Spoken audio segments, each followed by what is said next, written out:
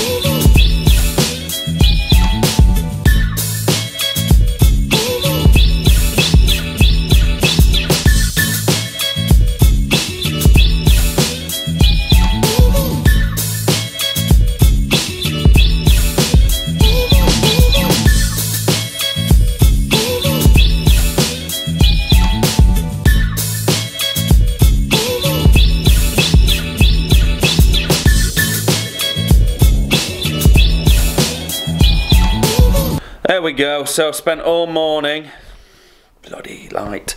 Spent all morning uh, turning a door around. It opened um, to the right, to the left as you walked in. I changed it to open to the right, so you're walking into the pub and not into the wall. Why it was hung that way in the first place, I don't know. Um, and then yeah, that's taken pretty much all day. If you look up at Jezza, you will see that it has gone five o'clock. Oh no, it's not. It's quarter to. I'm reading it backwards. So it's quarter to five. So what I want to do now is install a light fitting above the fascia at the front of the pub to illuminate the sign. I've not shown you yet. I'll see if I can grab a shot before the sun goes down. Um, but yeah, we've had the sign writing put up on the fascia board the brew shed Retford, blah de blah de blah, and uh, because the outside of our building is painted uh, silvery grey, I've had the lettering done in like a brassy bronze colour. But at night time, you can't bloody see it.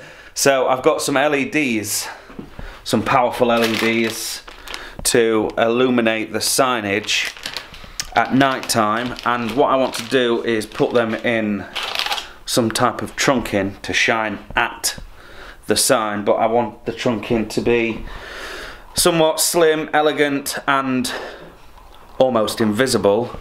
So I'm looking at a UPVC U channel which is actually a piece of box gutter uh, square down pipe run through the table saw and one side cut off so I'm going to experiment with that. I'll make some, probably some steel brackets, paint them black to mount the whole thing up. Uh, play around, I don't have any plans for this, it's all coming out of the head. Um, if it works, it will be fantastic. If it doesn't, I'll go back to the drawing board.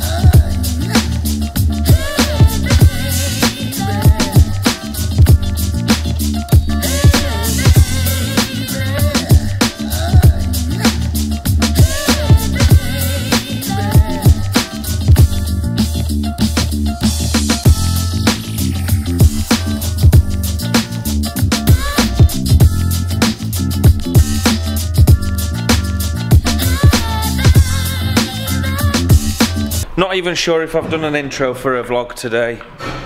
It's been non-stop, it's been extremely busy and it's not just me at it. It's quarter to nine and look, Gemma's here cleaning out the mess that is um, the past three brewers. And of course, this one contained leaf hop. She may be struggling a little bit. How does it look, hon? I just can't get it out. You can't get it out. Shall we have a peek into the tank? Oh, sugar tits. Yeah, that's going to be difficult, isn't it? What's all the white stuff on the other side? Is that just trub? Yeah. Ah, I see what you're doing. Yes. Um, forget the bucket. I've got an idea. I'll show you how to get on with it. I have a stick here, look. This is my uh, hop stick. So, in the past, well, I'll put the camera down. We'll come back. It'd be definitely trying to do it otherwise. In this middle one, it didn't What? shift. The caustic didn't move it. No, I couldn't do it with a hose pipe. No, it's fine. it. Just hose pipe it. Yeah. So it's coming out. We've got all the leaf hop coming out the bottom of the tank there.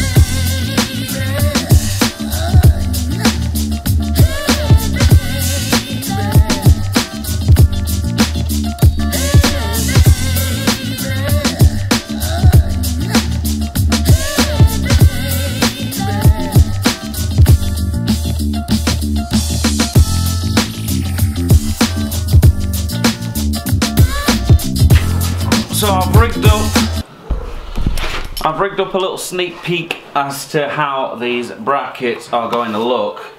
So we'll have it bolted or screwed to the to the fascia board like that. There's no weight here. There's probably 300 grams, 400 grams, so there's not a lot of weight. And then the plastic guttering with a piece of timber and an LED. Again, there's very little weight, and I put one of these every 900 mil and then we're going to screw the guttering onto this pivoting bracket on the back here. And that'll allow us to set imagine a beam of light coming out the front. That'll allow us to set the beam of light where we want it on the display. And then we lock the nut down and we have light on the signage. Cheap cracking simple idea We'll put it up tomorrow, we'll see if we can get power to it, and we'll see if it works. And we'll see you then. Cheers.